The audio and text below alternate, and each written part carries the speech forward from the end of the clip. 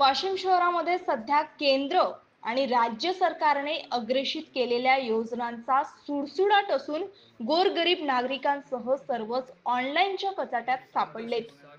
तर ऑनलाईन आणि तहसीलदार यांच्या नावाचा आधार घेऊन या योजनेला ऑपरेट करणारे ऑपरेटर प्रत्येकाकडून अव्वाच्या सव्वा मोबदला घेत असल्याने येथे प्रत्येकाची पिळवणूक होत असून यापासून शहरातील नागरिकांकडून लाखोंचा डल्ला जमा करण्याचे षडयंत्र होत आहे.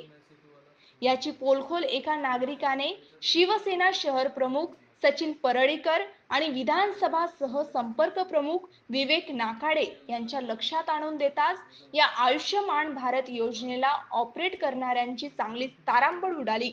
तर शिवसेनेच्या वतीने अशांवर कारवाई करिता थेट तहसील कार्यालय गाठून निवासी नायब तहसीलदार जाधव यांना हकीकत कळवली.